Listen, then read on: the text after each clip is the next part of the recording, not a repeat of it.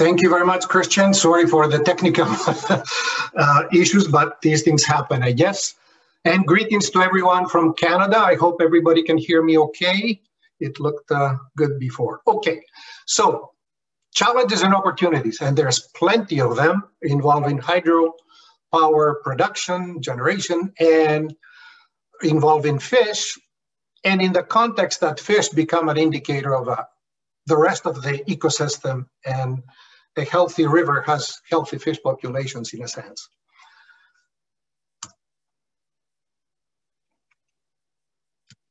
Okay, so I want to go over a couple of examples of uh, older hydroelectric power plants. Some of my examples will be in Canada, understandably, uh, that are older and they have presented lots of challenges. But essentially, do we know if um, fish populations are affected by hydro projects, especially large ones?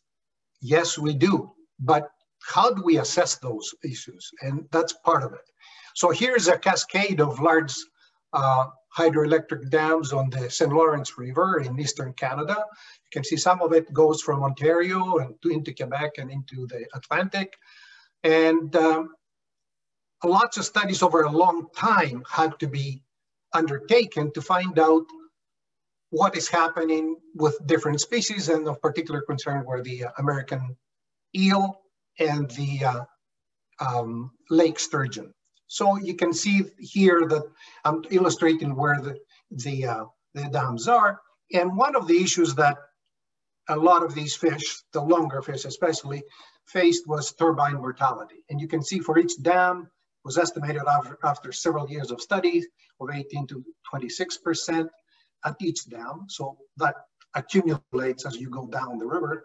And um, some measures started to be taken, for example, eel passes, but a lot of a lot of measures still need to be done. So let's look at the historical uh, information on the populations of uh, this time is the uh, sturgeon, right? And you can see, you can go back to 1880s or so to today, you can see what size populations were there and what reductions are here in all the Great Lakes areas. Now, the reductions are not only because of the hydro projects, there's many other issues that over the years and many other countries have experienced the same thing. There may be water quality issues, there may be habitat issues, there may be flow issues. So all these accumulated to see the population drop. And the same thing with American eel, and sometimes even fisheries had to be closed to accommodate, uh, to, to help these fish uh, survive and so on. So for the eels especially, the, because they migrate downstream when they're adults and large fish, long fish, cumulative mortality was approaching 40%, so over two down. So that's getting very dramatic. So we know these, these effects are there, but do we have any effective ways to help these fish recover? And can we apply these in the older uh, hydropower stations, but also in newer ones? And what's the difference?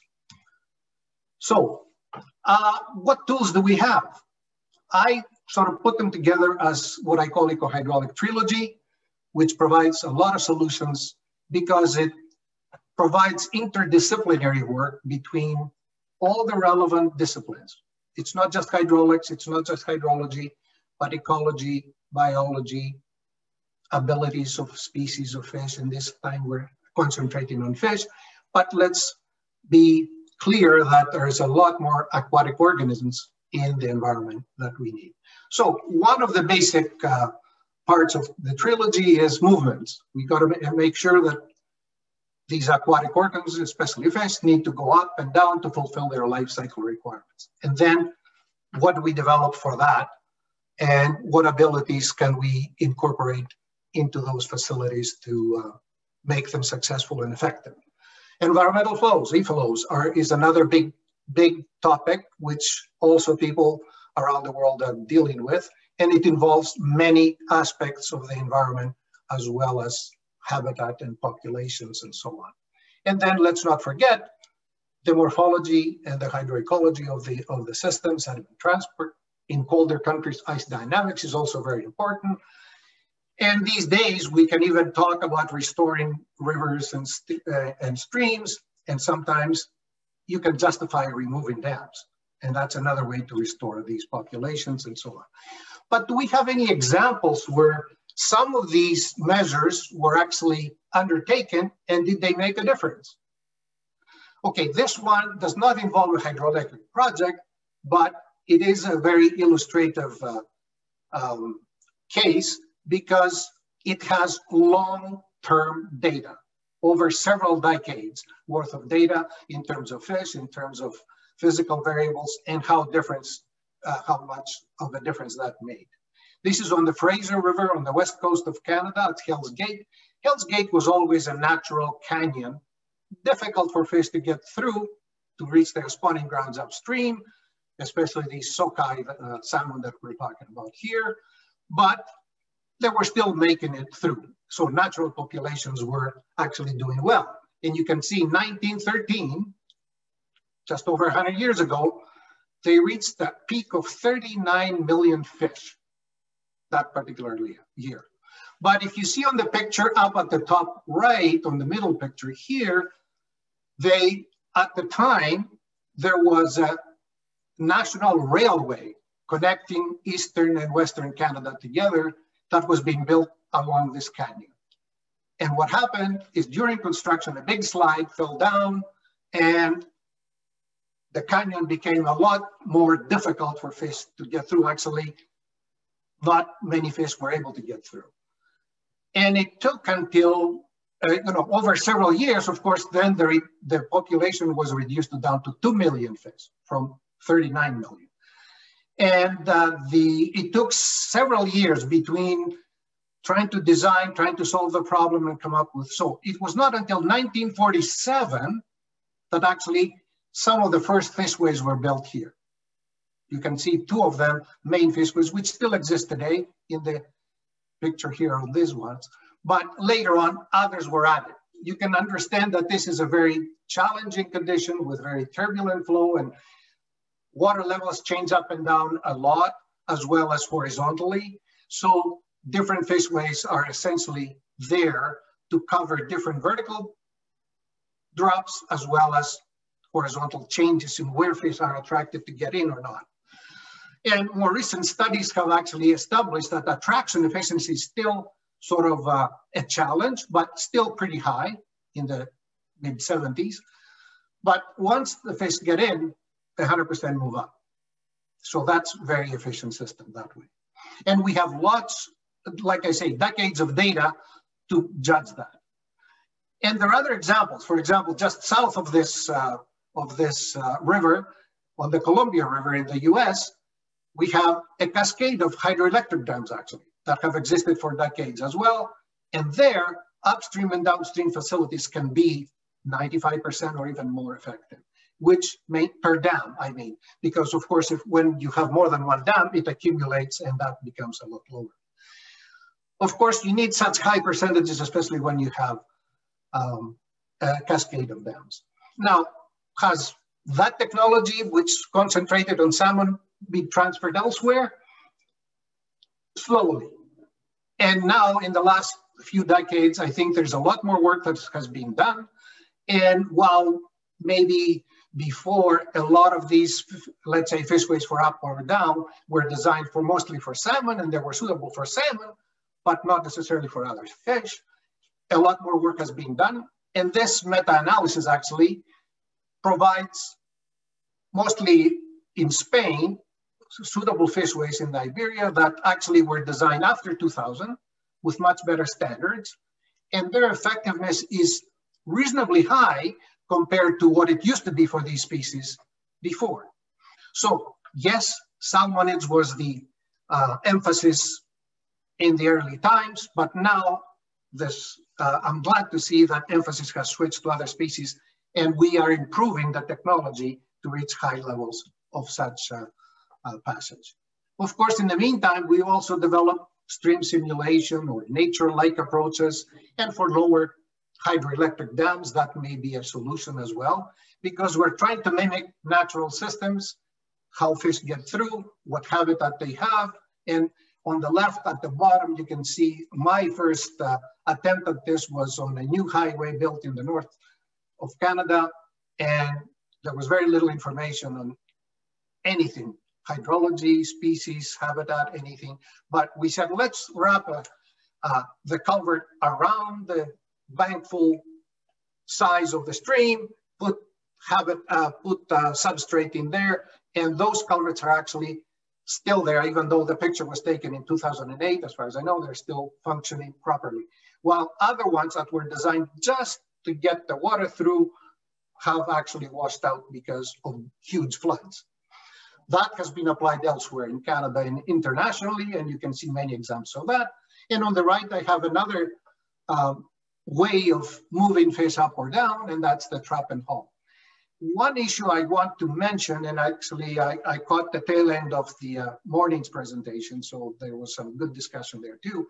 Invasive species is another item we have to always uh, worry about and be careful about. So some systems are more amenable to uh, helping with that issue, others not as much, except for manual sorting. But what we do about downstream, and there's lots of technologies that have been developed for downstream as well. I'm giving you some a few examples here, and there's many more. And FIThydro actually has developed those tools even better, put them together, and has developed uh, more of those. So one way is to, of course, we mentioned before, turbines are an issue for a lot of fish, especially large fish. Smaller fish have better survival. So avoiding them would be one issue. So what about redesigning and streamlining the uh, bar racks in front of turbines that are there to uh, protect the turbines from trash? But at the same time, you don't want to lose much head. So streamlining them, you can tighten the uh, space in between them and save more larger fish than um, the more regular rectangular kind of uh, bar racks. So that's one way.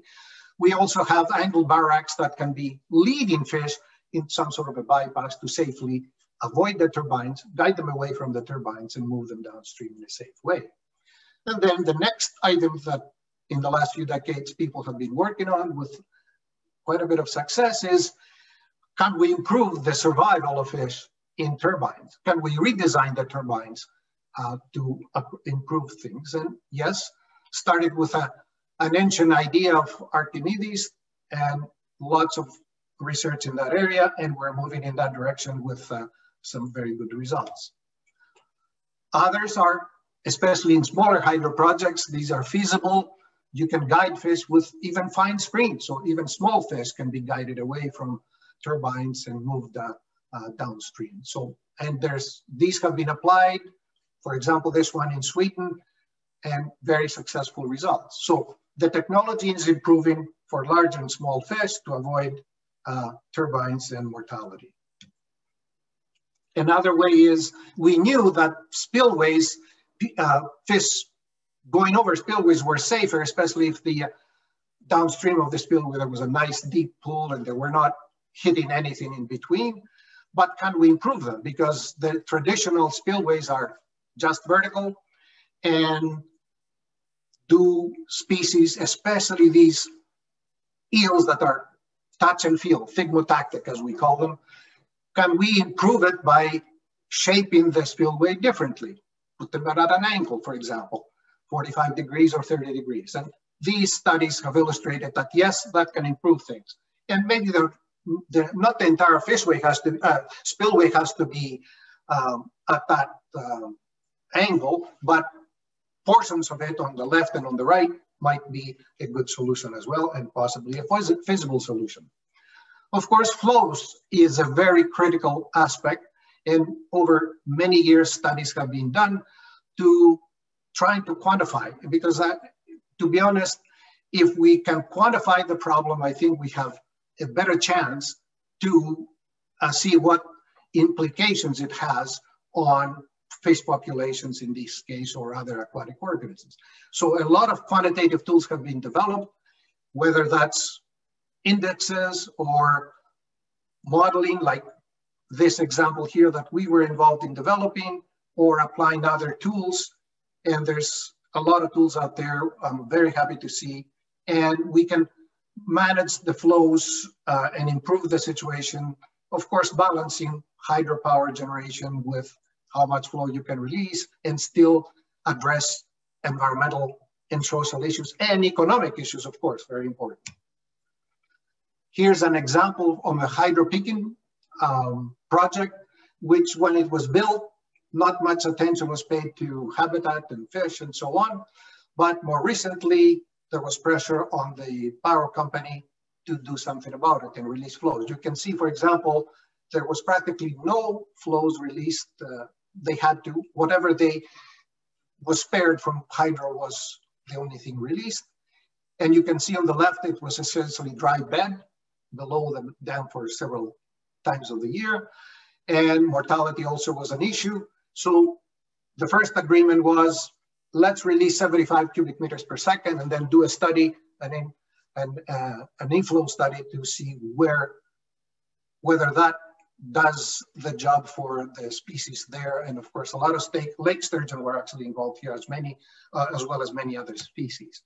So this gives you an idea of what the regulated hydrograph looks like over the years and what it used to be more naturalized. Some of these hydrographs had to be synthesized essentially.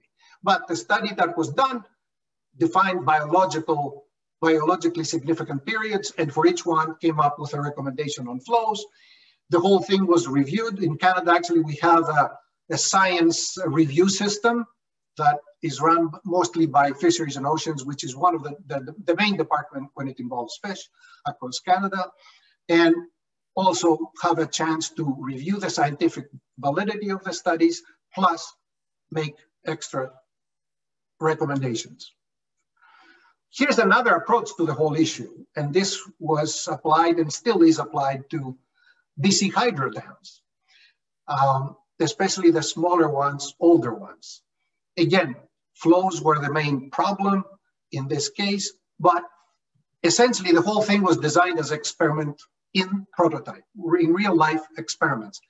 So here's one uh, hydro project with the hydrograph uh, on the top there from 1914 to 1947. You can see there's very little release for any environmental issues. Then the first trial was to release a certain amount of flow and see for 2000, for example, to 2008, that was the trial, what difference does that make? And the main measure was juvenile Pacific salmon was the main metric. Are they more abundant or less and so over so many years? Then a higher flow was actually uh, tried. And that also um, told us whether the population is doing well, whether the higher flow is justified because you lose power production that way too. So through, through these experiments, you can find out what is sort of an optimum solution for flows. Then the other aspect is habitat. What can we do about habitat? Because that hydro projects also rearrange that. And even though this is not related to hydro, the main point I'm trying to make here is that, again, we need, there's a couple of ways to do this. We need a long-term data, again, to monitor and find out how well some of these uh, measures may work. And one way is to compare a newly generated channel, which was in this case was generated for a diamond mine, in, uh, the first diamond mine in Northern Canada. And can we create habitat in this channel that might be equivalent to what a natural channel would produce? And immediately the study would indicate, as you can see on the red line at the bottom, that these young Arctic grayling were growing yes, and they were using the channel, but they were growing much slower than the natural streams nearby. Now, the whole thing was revisited 14 years later, and now they were converging a little bit more. You can see the red dot versus the green dot sort of average on those three. So there's still a difference between the two, but it's smaller than over here. So one way is to let nature take its course, but that may take a long time when it comes to habitat restoration, or we can more actively manage it and help it get there quicker. Sorry. Then, of course, there may be other aspects you can do, including um, um, hydro, um, uh, sorry, dam removal. One other aspect is climate change, of course, and maybe Chris, some dams. We are running out of time, please. Yeah, sorry. Okay, one one minute to wrap it up. Hydro, uh, like uh, climate change is also another issue, and some hydro dams can release colder water to compensate partly for that. So that, of course, there's a lot of research still ongoing. Here's a tool that we have developed on swimming performance that you can use. And studies are still ongoing around the globe. Here's one example from China, for example. And there's lots of information available now. And here's just uh, some list of references that you can see when you have a, a chance to. So essentially, eco-hydraulics can provide trade-offs and achieve cost-effective balance between power generation and environmental conservation and help us maintain or rebuild fish populations. Of course, for exist for new dams, it's easier to apply that technology. It's a lot harder and more expensive to apply it to alter to other technologies. And the best solutions are designing them right at the beginning. And let's not forget adaptive management is also essential in these uh, issues because we don't have the answer to all those questions. Thank you very much.